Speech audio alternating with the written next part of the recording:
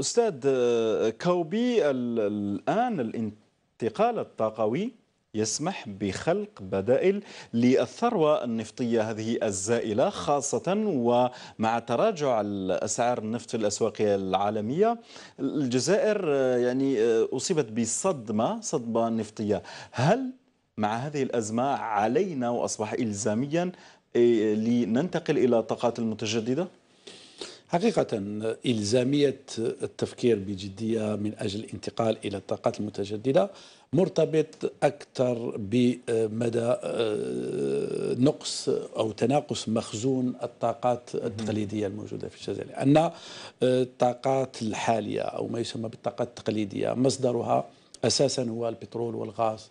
آه، طاقتنا الكهربائية منتجة بواسطة الغاز ونحن نستنفذ كميات كبيرة من حتى إنتاج الغاز. ثلث الغاز الجزائري موجه لإنتاج الكهرباء. اذا إذا تكلمنا أن ثلث الإنتاج موجه للكهرباء أو الاستهلاك الداخلي للكهرباء فإنه نقص ثلث المنتوج ينقص من ميزان الصادرات. والآن الجزائر في حاجة كبيرة أكثر من أي وقت مضى من أجل أن تتمن الطاقات التقليدية من أجل أن توجه الطاقات إلى التصدير بما أن لديها موارد طاقة أخرى مهمة تعتبر الجزائر أول حقل طاقوي للطاقة الشمسية من ناحية الخام غير مستغل للأسف الشديد.